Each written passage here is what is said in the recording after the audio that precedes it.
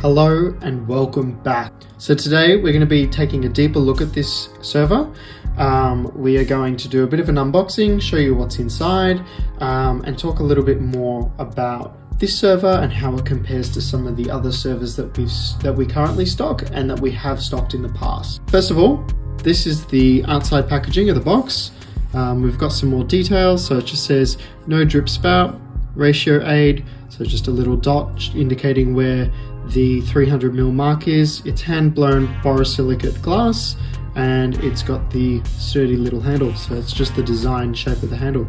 Some beautiful imagery as always. Um, if you don't know uh, fellow have won a couple of awards uh, particularly the red dot design award for their ekg kettle and i believe some of their other products like the fellow ode as well. So all of their products you can expect to see are high quality built very tough and do a fantastic job all while looking really sleek and classy.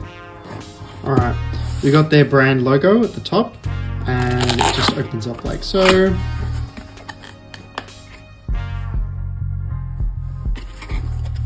Just like this, we've got some packaging and I believe just a little card. So this is their EKG kettle, um, if you haven't already seen it.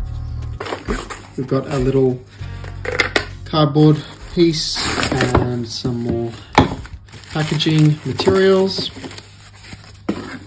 going to pop all that to the side. And inside this plastic sheet,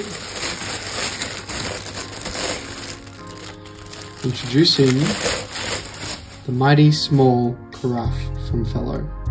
So straight away, beautiful design, sleek. It's quite lightweight. It's a really beautiful looking server. It actually reminds me a little bit like a milk pitcher.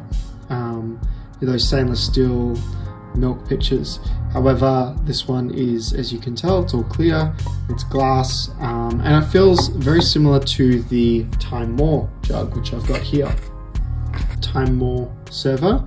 Uh, this one's 600 mils. Um, it sits just slightly larger than the Fellow.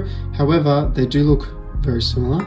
Um, yeah, the Timemore lip is a little bit different.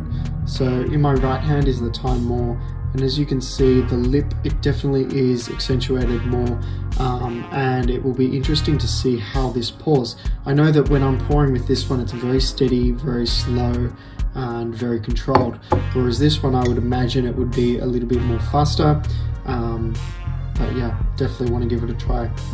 It's uh, about the same in when it comes to weight. I'd say this one is slightly heavier and in size they are very similar.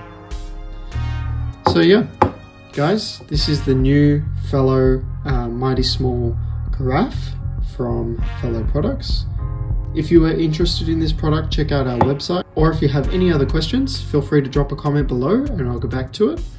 Um, thanks so much for watching and we'll see you next time.